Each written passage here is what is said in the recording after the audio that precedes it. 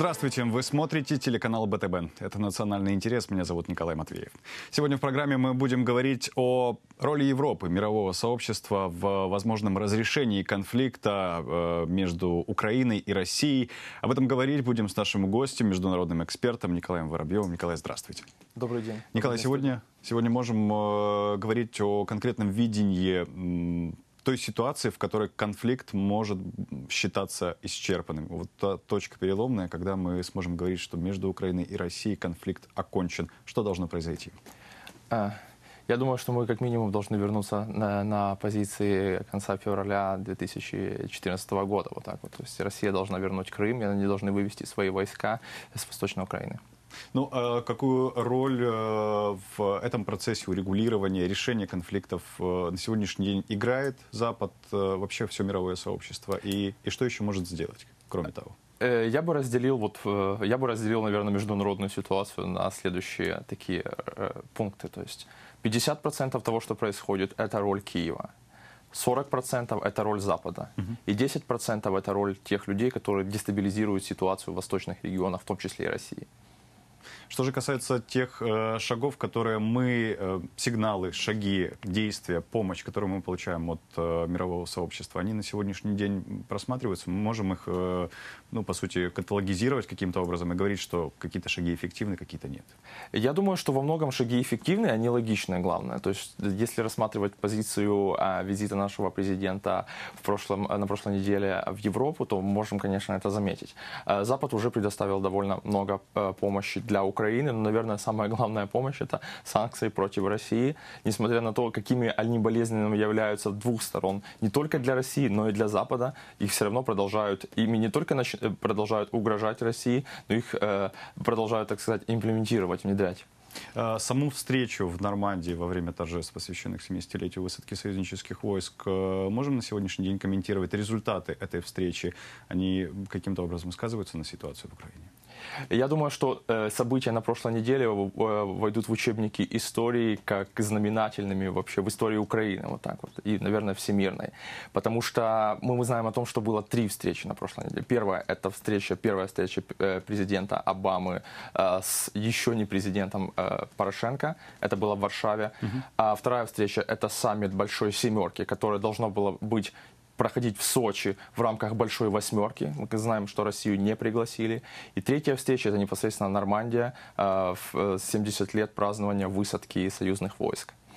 И э, каждая встреча является, безусловно, знаменательной. И я думаю, что э, она прошла максимально эффективно для Украины. Сейчас главная для нас цель – это прекратить кровопролитие, прекратить вооруженные столкновения в восточных регионах и сесть за стол переговоров. В любом случае, какие бы ни были э, ребята, которые говорят никаких переговоров с террористами и тому подобное, мы прекрасно понимаем, что если мы не начнем разговаривать как минимум, то ситуация на Востоке затянется на годы, потому что фактически граница сейчас она дырявая, и туда проскакивает все больше и больше боевиков. То есть если Россия продолжит их в дальнейшем снабжать, снабжать, у нас будет больше, больше крови, и мы понесем большие потери за это время. Поэтому нужно договариваться. Николай, все говорят, нужно договариваться, диалог очень важен. Вопрос, э, с кем сегодня на Востоке вести диалог? Кому с кем говорить?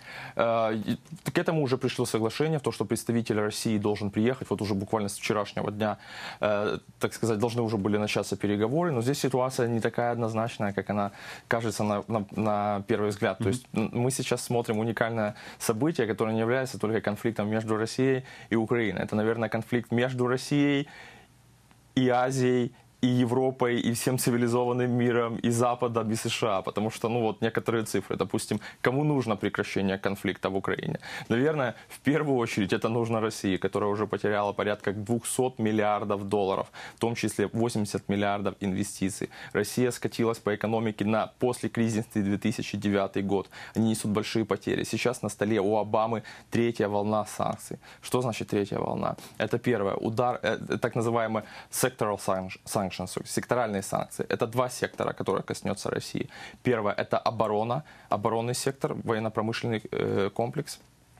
И второе – это энергетика. То есть санкции уже будут конкретно бить по вот этим двум направлениям. То есть это э, эмбарго, возможно, на, э, на экспорт нефти, это запрет на э, поставку каких-то деталей для вооружения и тому подобное. То есть мы можем понимать, что Россия сейчас находится под огромной угрозой.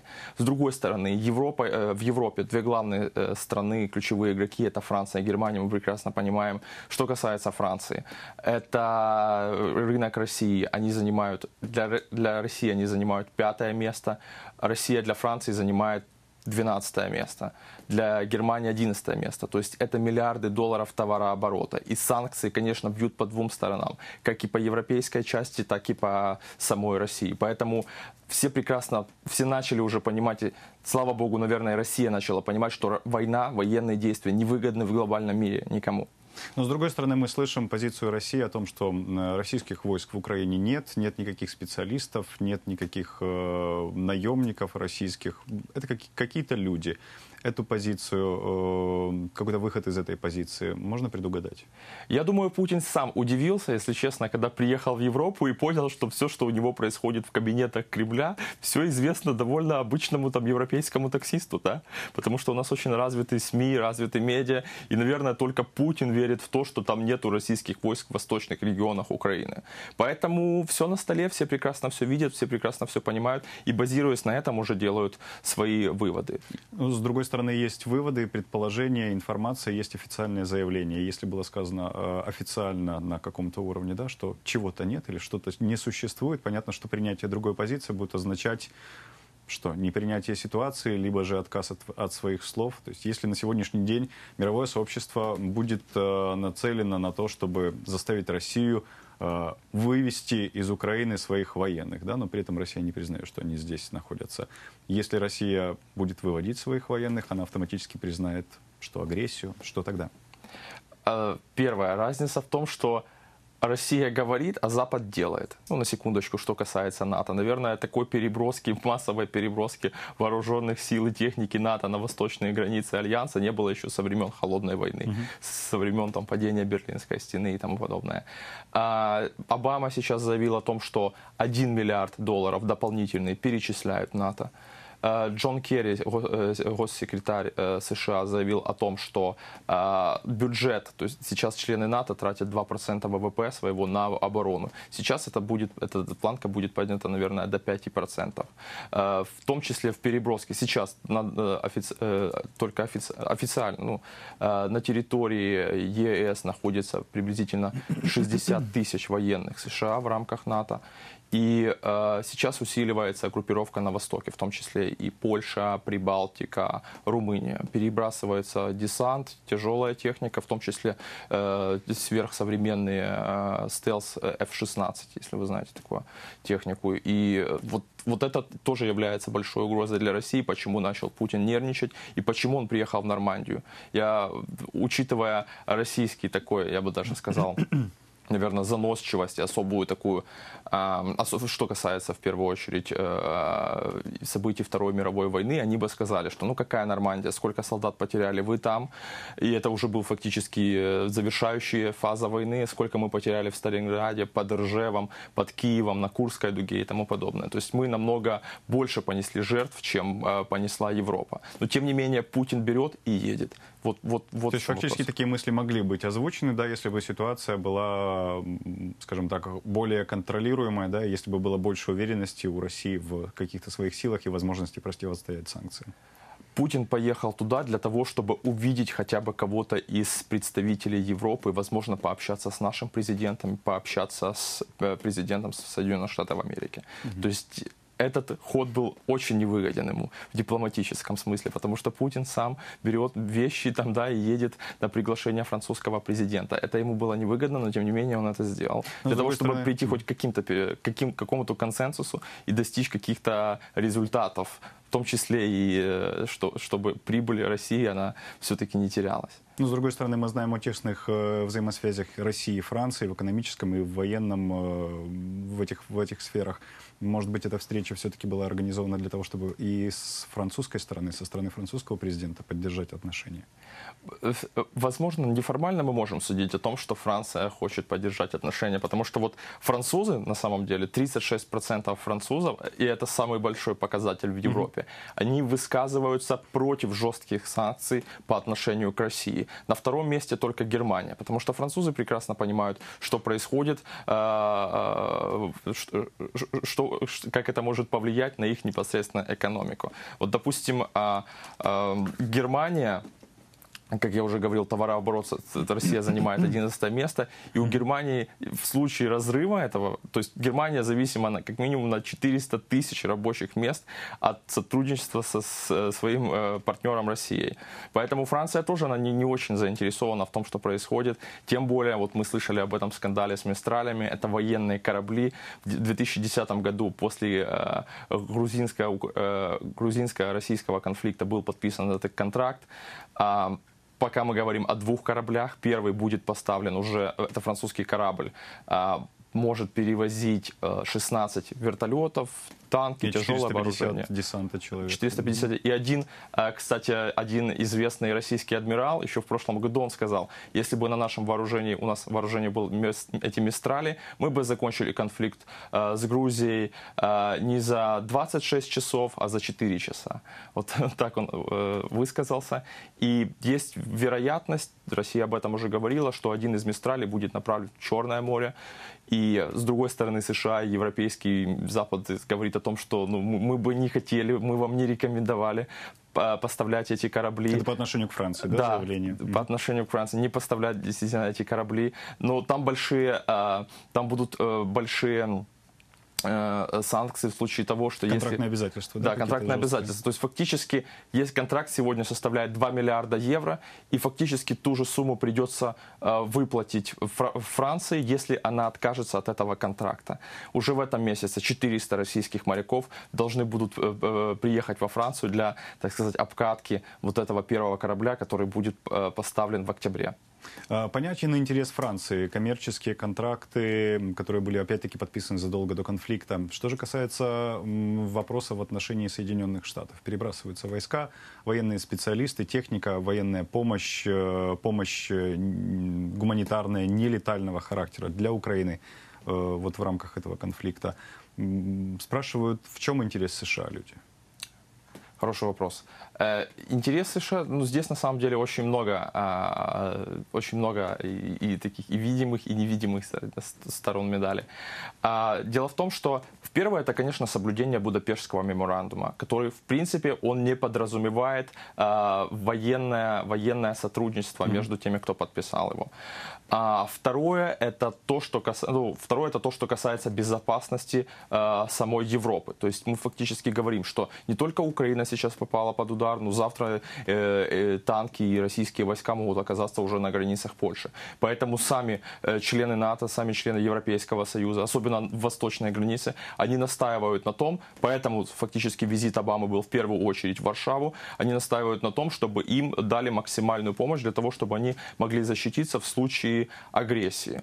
Третье, это очень важный момент, что касается США. Надо понять, когда страна претендует на роль мирового лидера, в том числе флагмана НАТО, мы прекрасно это понимаем, у них есть некоторые моральные обязательства перед своими партнерами. То есть, если они декларируют дружбу с той либо иной страной и поддержку, они не могут просто взять и оставить страну и сказать, что вот мы не знаем, мы будем оборонять там только свои mm-hmm. границы. Вот и все. Поэтому здесь множество, в том числе и моральных, и разных интересов.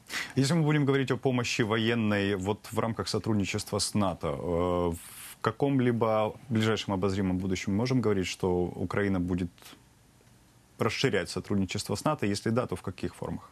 Минимально мы уже сотрудничаем, в первую очередь, то, что мы получаем э, от Запада, и об этом было анонсировано, да, было уже направлено фактически mm-hmm. нелетальной помощи на 50 миллионов долларов, в том числе эти известные сухие пайки, их было 300 тысяч всего, и 300 тысяч э, э, единиц, и стоимость их была порядка 2 миллионов долларов. Э, также говорят о амуниции, о оптике, о другой нелетальной помощи, но мы еще должны расследовать, насколько эта помощь э, э, была поставлена на восточный восточные регионы Украины, то есть насколько она дошла до наших войск. Не застряли ли они где-то по дороге, эти сухие пайки. В том числе Обама сказал, что еще дополнительные 50 миллионов будет выделено ну, в рамках той же программы. А, что касается дальнейшего, то есть я, я, это мое личное мнение, я считаю, что э, в контексте, мы помним это заявление Порошенко по поводу ленд-лиза, и если уж э, Петр Алексеевич сказал об этом, значит ему надо первый свой рабочий визит делать как раз в Вашингтон и не просить, а требовать и привести в Украину этот вот ленд-лиз, эту вот помощь для украинских солдат, потому что я прекрасно понимаю ситуацию, которая происходит на фронте, когда нету просто бронежилетов, вот и все. Это далеко не натовский стандарт. И третье, это, естественно, украинской стороне надо настаивать на том, чтобы идти на сближение с НАТО, в том числе в рамках восточного партнерства, чтобы и другие страны были вовлечены. И э, это может быть всевозможные учения, обмен опытом. Мы знаем, что уже наши моряки, э, которые отказались присягать на верность России, они уже проходят э, практику на военных кораблях НАТО. И я думаю, что мы можем просить о карте о карте членства в НАТО. Ну а можем ли мы говорить, что только, только НАТО может что-то дать э, Украине, украинской армии, в частности, украинским военным, какой-то опыт, технику, или же нам есть что привнести в э, какие-то, возможно, традиции НАТО? Самим естественно, естественно, у нас, э, у нашей армии, я общался со многими действительно спецами, mm-hmm. и, конечно, есть в первую очередь это опыт, потому что украинцы, они брали участие в конфликтах в многих там горячих точках, в том числе и в Афганистане. Я думаю, наши офицеры, наши эксперты, им есть чем поделиться со своими западными коллегами. И в любом случае есть на чем сотрудничать. Но мы можем даже смотреть, что сами украинские люди этого хотят, потому что до конфликта, если я не ошибаюсь в цифрах, то э, количество украинцев украинцев, которые сейчас выступают до конфликта и э, сейчас во время конфликта фактически увеличилось в два или чуть ли не в три раза, угу. которые выступают за то, чтобы все-таки Украина стала членом НАТО, потому что это безопасность, это коллективная безопасность. Как только эта страна становится членом, э, идет э, выполнение пятой статьи э, Альянса, которая подразумевает то, что э, в случае агрессии против любого из стран-членов НАТО э, остальные автоматически остальные страны-члены, они фактически должны помогать всячески, в том числе и военная помощь, не только нелетальная, не только, не только бронежилеты, сухие пайки, либо обещания. Mm-hmm. Нет, они помогают своим партнерам. Николай, ну а насколько будет вообще корректно говорить о каких-то моральных, этических принципах присоединения, например, опять-таки, Украины НАТО именно вот в этот момент, когда в Украине уже э, существует конфликт, когда существует регион проблемный, в котором ведутся военные действия, Насколько корректно сейчас говорить о присоединении к НАТО? Почему мы не сделали это раньше или не сделать это позже, когда мы завершим этот внутренний конфликт, да, и завершим внешний конфликт с Россией по факту? Я общался с некоторыми генералами э, из НАТО, mm-hmm. и они говорят довольно интересные вещи. Первое, что ну, вы с Польшей начинали фактически в одной позиции 23 года тому назад, у вас был там одинаковый уровень ВВП, наверное, mm-hmm. у Украины был самый там сильный, там, в том числе военный потенциал, и там, политический потенциал, и экономический. Э, почему Польша уже стала членом НАТО, у нее ВВП в 6 раз выше, чем в Украине, и они ну, полностью, это одна из самых, наверное, это самая успешная страна на сегодняшний день в Европейском Советском Союзе. И почему вы до сих пор все это время так сказать, ну, ваше правительство, ваша власть, она грабила фактически армию? Вот это хороший вопрос, я не знаю, как наши политики на него отвечают. Действительно это так. Украинской армии до этого времени, ну, можно сказать, не существовало. То есть все, что сейчас собирается, это добровольцы, это патриоты, это те части, которые еще, та небольшая Э, тот небольшой процент, который остался еще со времен Советского Союза. Вот. И, естественно, мы сейчас не говорим о членстве. Говорить сейчас Украина о членстве в НАТО, это то же самое, что говорить о членстве в ЕС. На сегодняшний день это невозможно. Но для того, чтобы максимально обезопасить, я бы сказал, что нужно идти, стоит идти на сближение. После этого тоже интересный аспект, что э, они не давали... э, дорожную карту для Украины, и НАТО было очень э, такое а, а, осторожное, э, чтобы ну, ну, там очень мнение поделилось среди, в, сами, в самой верхушке организации, то, что часть говорит, то, что мы не можем как-то сильно Украину вовлекать до конфликта, потому что это спровоцирует Россию. А сейчас они прекрасно понимают, что еще больше провоцирует Россию, если Украину не вовлекать э, в альянс. Ну, мы понимаем, что э, Украина будет вовлечена в альянс именно во время конфликта или же все-таки после завершения? А, мы не знаем. Мы, сейчас у нас, э, насколько мне известно, должны были пройти учения, но они были отменены. Mm-hmm. Также у нас были учения Сибриз в Крыму, но, естественно, по понятным причинам они тоже не состоятся. Но я думаю, э, на дипломатическом, на политическом и на экономическом уровне мы должны максимально все-таки идти на сближение с альянсом. И фактически на прошлой неделе мы это уже увидели. Оно уже состоялось во время визита Порошенко, во время гарантий помощи и поддержки поддержки Украине. Несмотря на то, что пока это не летальная помощь, но я не исключаю в случае открытой агрессии России, вполне может э, появиться западное оружие, западное вооружение. Э, я не исключаю этого. Что же касается невоенной помощи, э, взаимодействия ни на экономическом уровне, ни на политическом, на уровне тех же общественных организаций, движения в Европе есть, которые, которые разделяют, скажем так, судьбу Украины, заинтересованность в том, что происходит, готовые влиять на все эти события? А, хороший вопрос, но здесь, э, здесь как бы здесь есть два аспекта. В первую очередь, естественно, наверное, европейцы, так же самое, как и американцы, так же самое, как и э, люди там из Ирана, там, mm-hmm. из Китая, тоже, кстати, интересные страны в контексте вот этого конфликта. А может, попозже поговорим.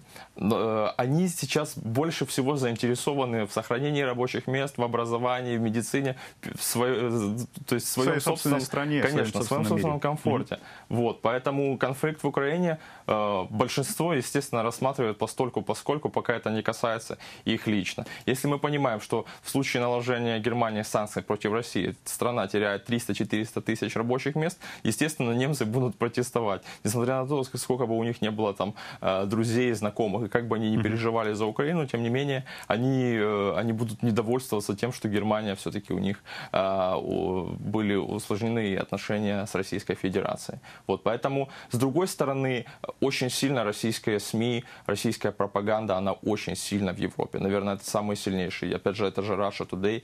РУ ТВ есть, РУ, я, я не могу точно вспомнить, как этот канал называется, но он очень сильный в Германии. И опять же, то есть пропаганда дается, мы все равно видим эффект пропаганды, российской пропаганды в Европе. С другой стороны, очень сильная украинская диаспора. Э, когда мы говорим о каких-то каналах информирования, да, мы понимаем, что, наверное, если э, можно заявить о том, что канал хорошо стоит там, да, и его воспринимают, чем вызвано такое доверие? Как а... оно было построено до того, как, как началась э, вестись именно пропаганда при помощи этих каналов? Интересный момент. Я бы сказал, что пропаганда России в два, возможно, в три раза имеет более эффект в 2-3 раза, нежели там в США. Потому что, в первую очередь, наверное, исторические связи. Ну, на секундочку, в Германии живет 5 миллионов, только официально живет 5 миллионов э, россиян. Угу. И их влияние, опять же, влияние э, российские СМИ.